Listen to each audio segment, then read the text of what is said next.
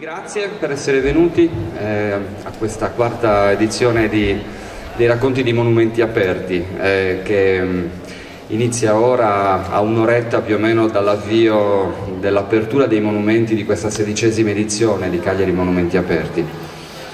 Eh, entriamo subito nel, nel vivo. Io volevo prima di tutto, prima di lasciare la parola a Francesco Abate, e che assieme a me cura il, questa iniziativa di racconti da quattro anni appunto, volevo fare una serie di ringraziamenti veramente sentiti e non pro forma.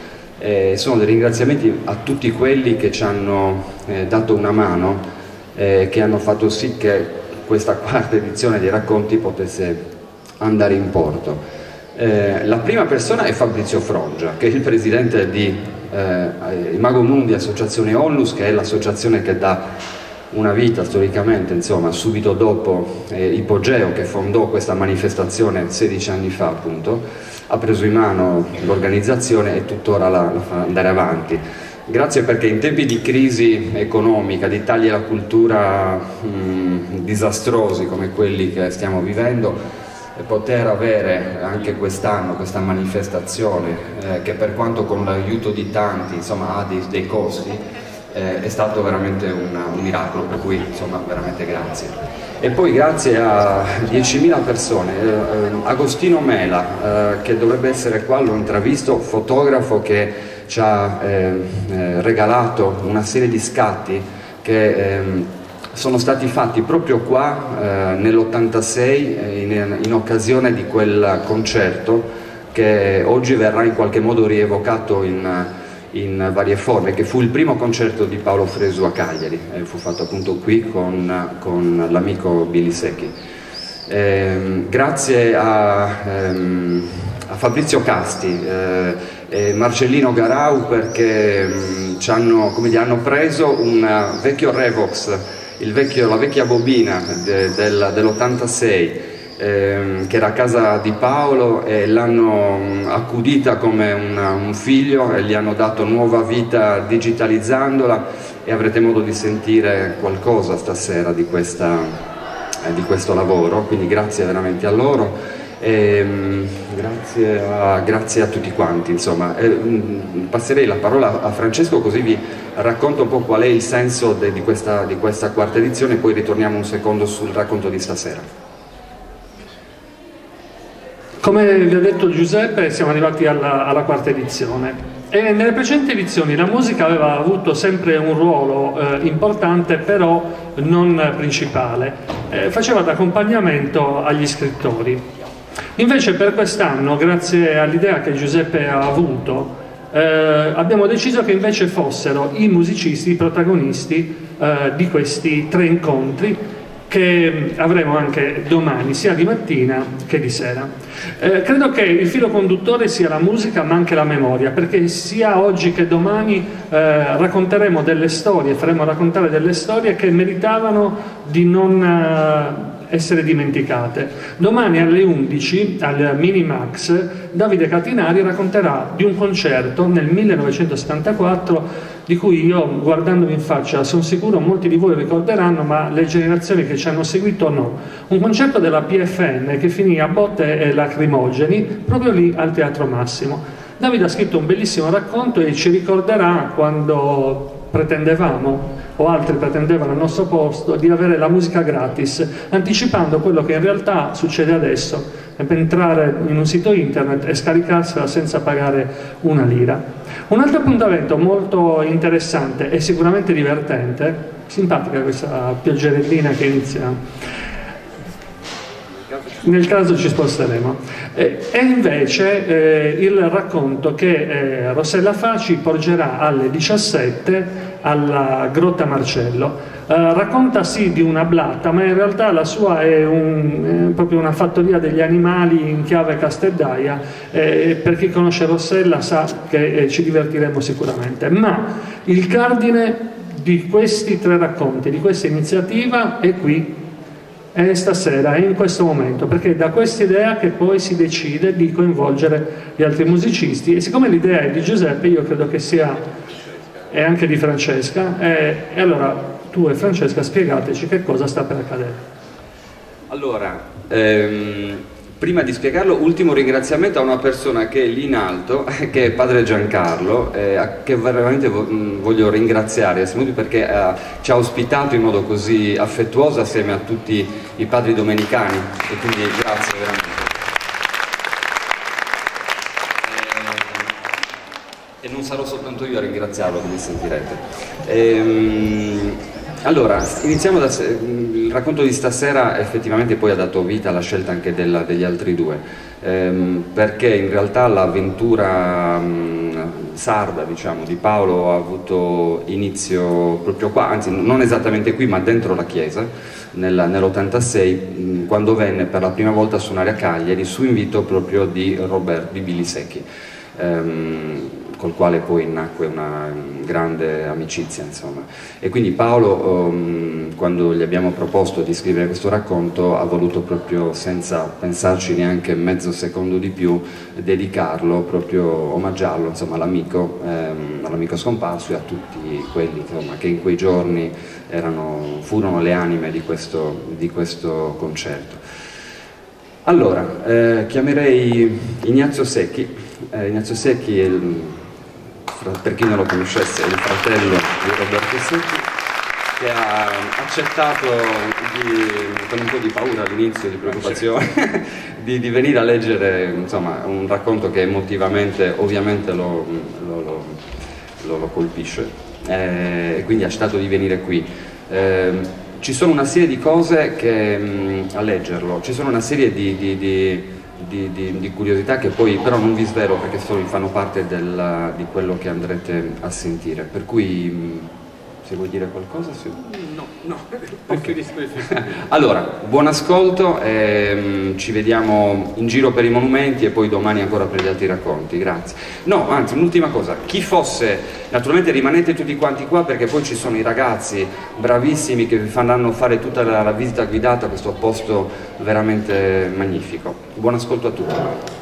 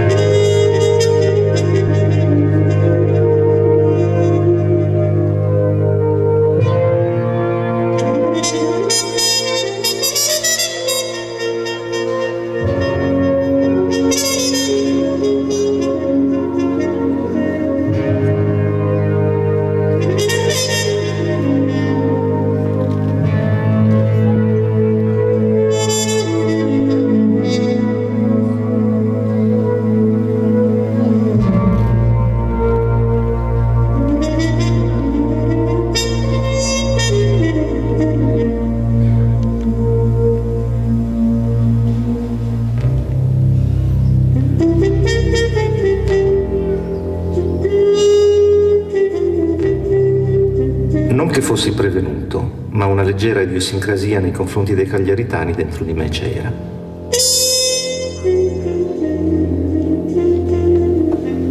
Si sa, quelli dei paesi ce l'hanno a volte con quelli delle città. Io e Berchidda ero nato mica in una capitale.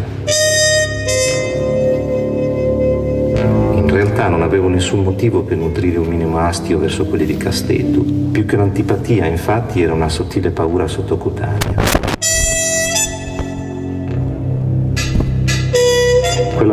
Posto vasto, che era più grande di Sassari, e quella verso il luogo in cui non ero mai stato, dove c'erano addirittura i filobus. Perché se tanto mi dà tanto, i filobus stavano anche a Roma e a Milano, e dunque Cagliari non era solo grande, ma immensa, perché se no che ci stavano a fare i filobus se la gente poteva spostarsi a piedi come nel mio paese, dove da Riuzzocolo a Sarughe ci mettevi 5 minuti se non ti fermavi al bar in piazza. E con questo chiodo fisso che vi approdai in una fredda mattina di febbraio, partimmo dalla stazione di Berchida che era notte e saremmo stati una ventina, tutti classe 61. Ricordo solo che mio padre mi accompagnò con la 500 familiare bianca, piena di sacchi di mangime e di bidoni per il latte, che era buio pesto, che a un certo punto mi svegliai che il treno stava transitando a Campena. Fuori c'era la neve e io non ne avevo mai vista così tanta.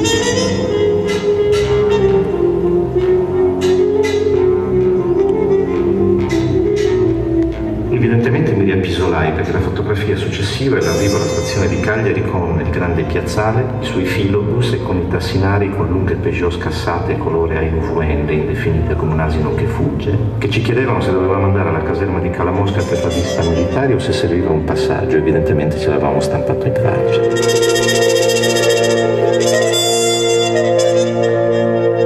Sapevo tre cose di Cagliari, che era grande, c'erano i filobus e che per la visita di leva si andava donne e si diventava grandi.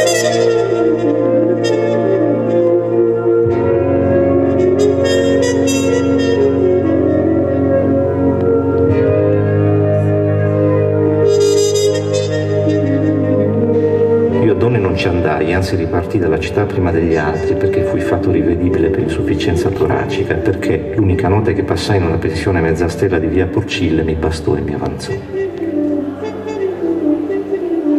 Tornai in paese che ero grande lo stesso e la leggera idiosincrasia nei confronti dei cagliaritani rimase intatta. Non ricordo di esservi ridisceso prima di aver conosciuto Billy. È lui che mi fece amare Cagliari.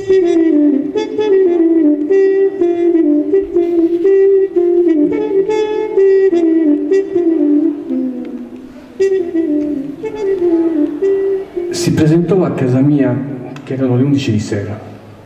Una sera di agosto bollente, di quelle che senti solo il brusio delle cicale e le voci dei vicini che cenano con le finestre e le porte aperte, con le grida dei bambini che giocano a pallone.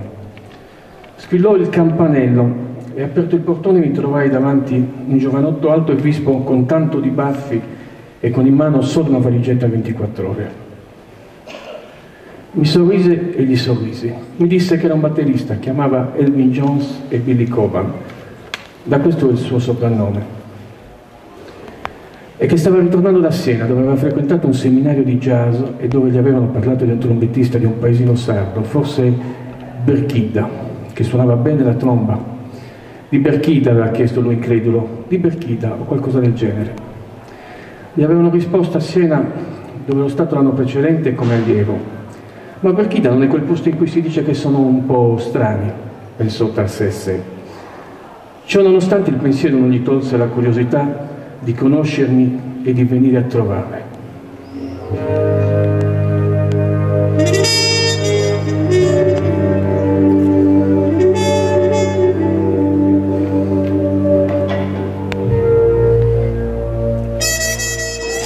Aveva viaggiato da Livorno con la nave diurna è arrivato a Ulbe, aveva preso il primo treno per Chilivani. Era sceso alla stazione in una sera buia e si era incamminato a piedi verso il paese.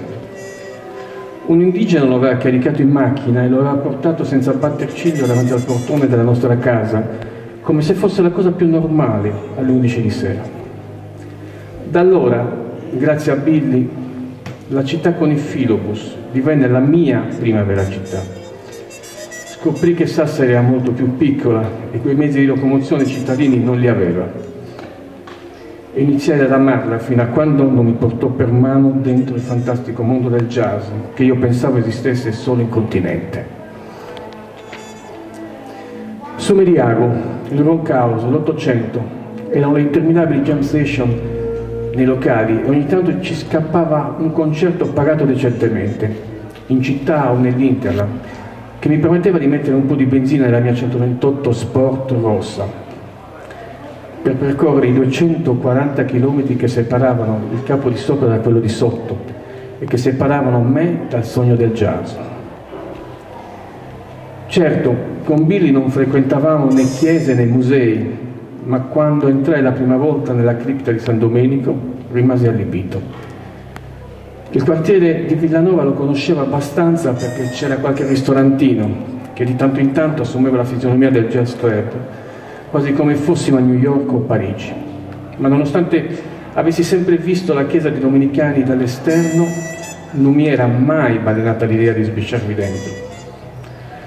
L'associazione Teatro Corpo Scena vi aveva organizzato una mostra dal titolo Acque attraversate, con le opere di teatristi spagnoli e il nostro Oltre, con il sottotitolo Monologhi e dialoghi e musica.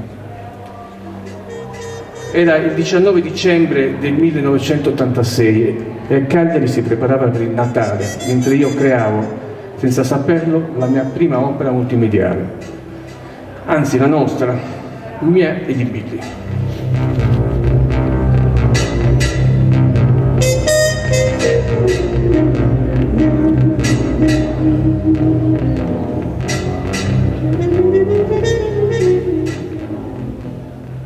La batteria la trasportammo con un taxi perché lui non guidava e la mia 128 Sport giaceva da qualche anno in chissà quale campagna logodorese a fare da deposito per mangimi.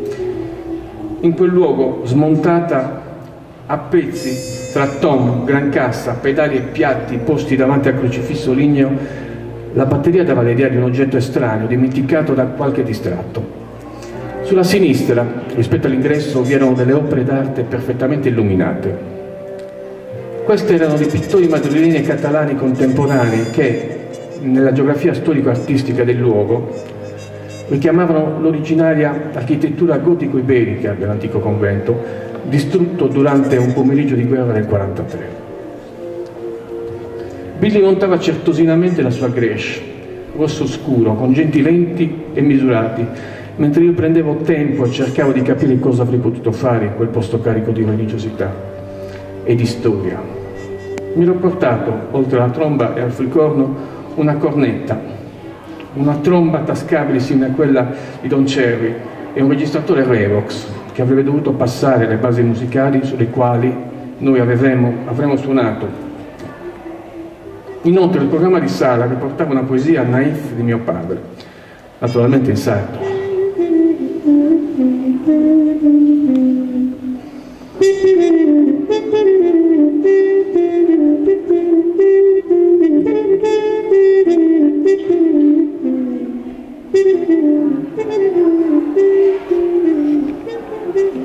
confronto alla maestosità del luogo, le opere d'arte moderne sembravano poca cosa. Nonostante queste fossero materie che all'interno della cripta sembravano perdere spessore e solo rilette forse nell'antico chiostro del XV-XVI secolo avrebbero potuto riguadagnare luminosità e vita tra le immense agavi e il prato verde con il pozzo centrale. Pilar, Salvatore, Juan, tre artisti spagnoli appena conosciuti, sembravano contenti di essere lì a misurarsi con le poche opere sacre sopravvissute ai bombardamenti e con il sincretismo architettonico gotico rinascimentale della, della Cappella del Rosario. Da parte mia sentivo la necessità di dare a quello strano concerto una definizione nuova. Il titolo Oltre, con tre puntini finali, testimoniava una confusione di fondo.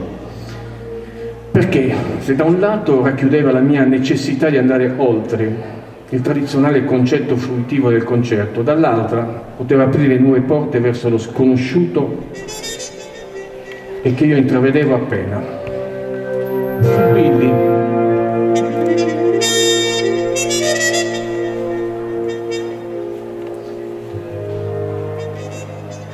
fu Billy a svelarmi il senso. Perché non ti porti qualche base preregistrata sulla quale suonare? Mi suggerì al telefono e io, ottima idea, pensai. Proprio in Catalogna avevo appena fatto uno spettacolo con un mimo e composto una partitura dal titolo Mahmoud, che avevo registrato qualche mese prima con il quintetto in seno al quale, in tempi non sospetti, aveva militato lo stesso Billy. Le storie si intrecciavano, le geografie con i luoghi, gli anni, i suoni. Siena con Cagliari, grazie alla valigetta 24 ore di Billy, e la Catalogna con le cappelle quattrocentesche voltate a crociera costolonata e i capitelli di fito zoomorfi del chiostro di San Domenico. Toscana, Sardegna e Spagna si incontravano in quel luogo come mille volte era stato nel passato nel nostro romanico pisano e poi nel gotico aragonese, che si possono ammirare nelle nostre basiliche perse nelle campagne tra le greggi.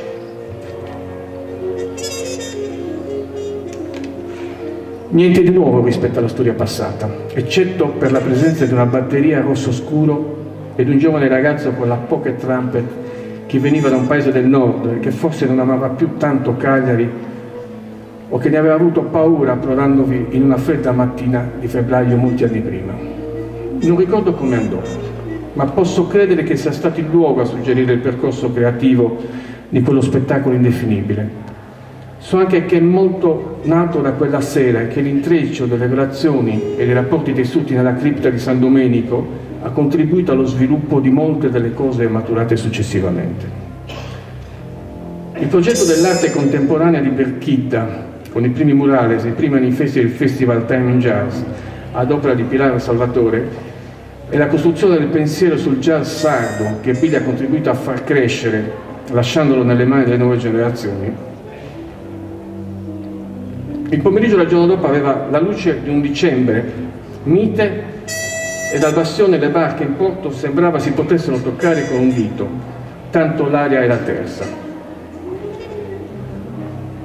Salutando Pilar, Salvatore e Juan, che a loro volta agitavano le mani dal ponte della Tirrenia, non sapeva ancora che quel titolo dato al nostro progetto estemporaneo sarebbe stato quello giusto e, que e che quei tre puntini discreti posti alla fine avrebbero lasciato intendere un'infinita serie di diramazioni tra Sardegna e continente e tra lo stesso e il mondo, passando proprio per la Spagna e poi salpando gli oceani. Se dalle macerie del 13 maggio del 43 era rinato San Domenico, io iniziavo a vivere in quel Natale del 1986 che era oltre me stesso e non me ne rendevo conto. Un po' come il jazz che cancella le distanze fra i continenti e anche tra il capo di sopra e quello di sotto. Eliminando finalmente l'atavica paura dei filobus che incarnavano la metafora del micro e del macro, del mondo conosciuto e di quello sconosciuto.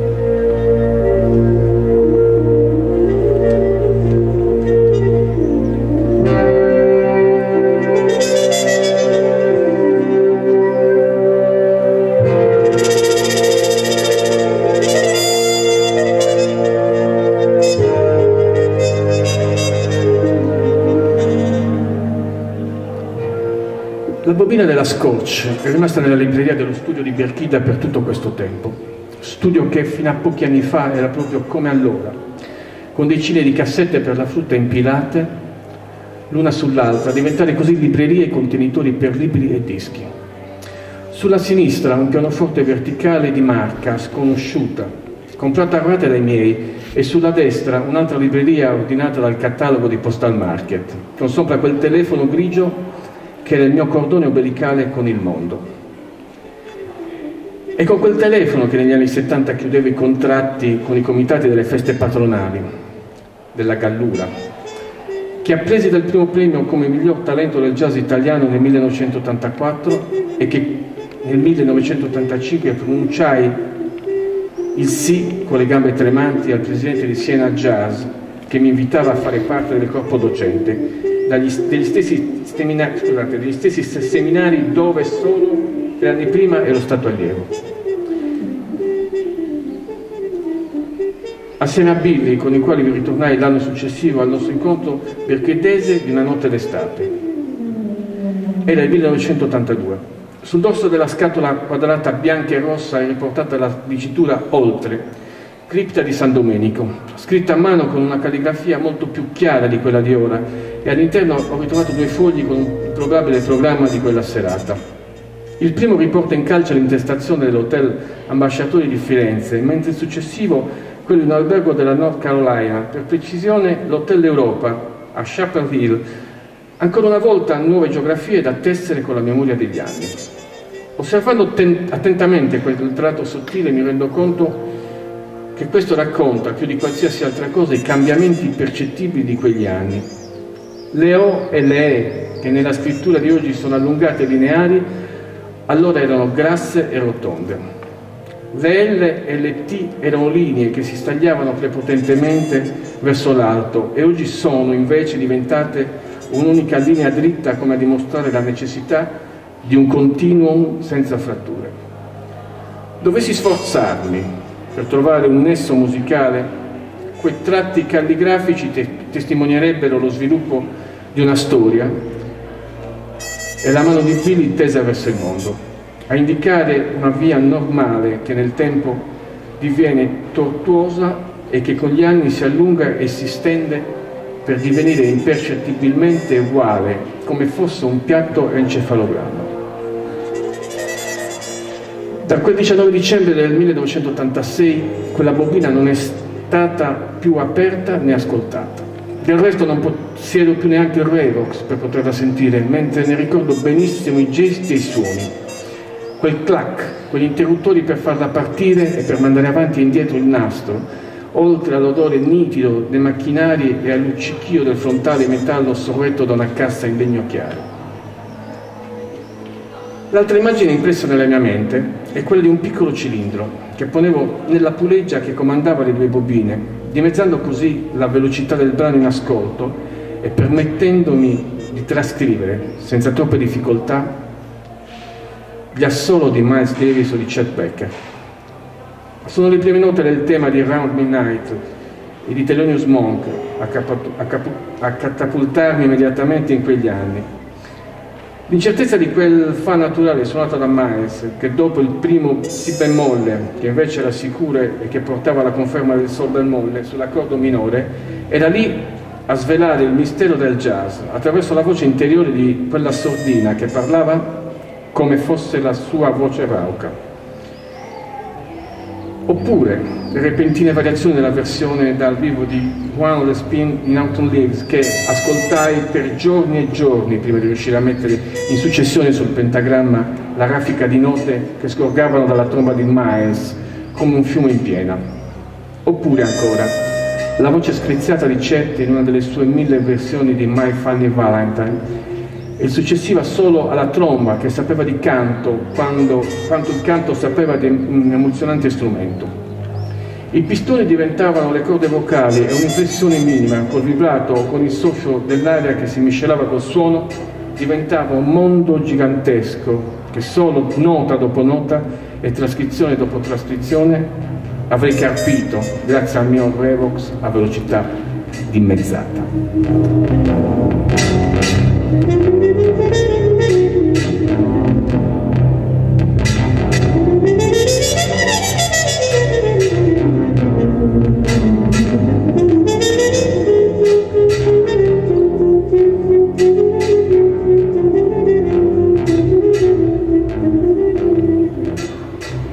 Ho ascoltato quella bobina ora, dopo 26 anni e dopo averla messa nelle mani esperte di un tecnico esperto che possiede ancora un vecchio registratore a nastro.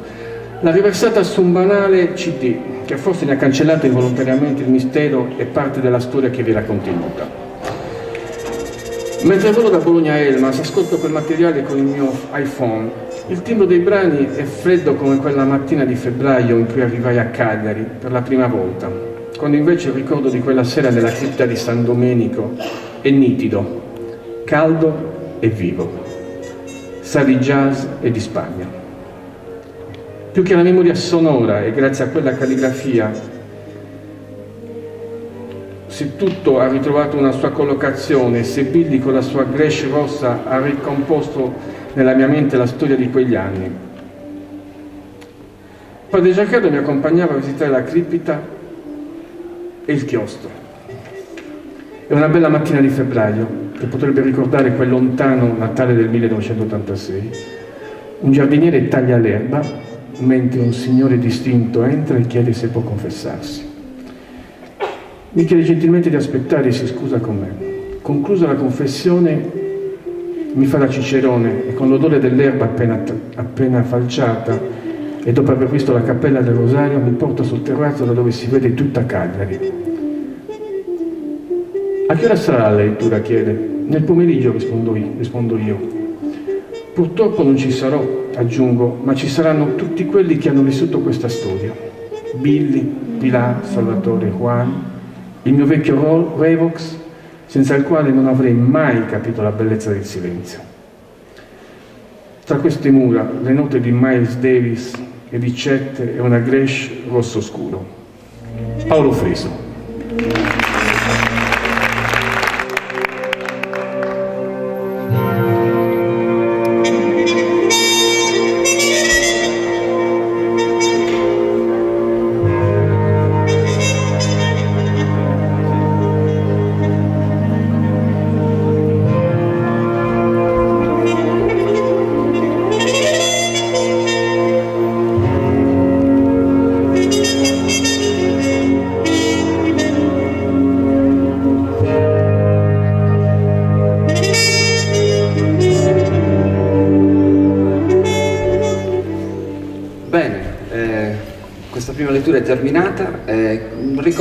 Chi fosse interessato che all'ingresso ci sono le guide di Cagliari Monumenti Aperti, c'è il libretto con, che contiene tutti e tre i racconti, quello di oggi e quello che verranno letti domani. Buona Monumenti Aperti a tutti, buona serata.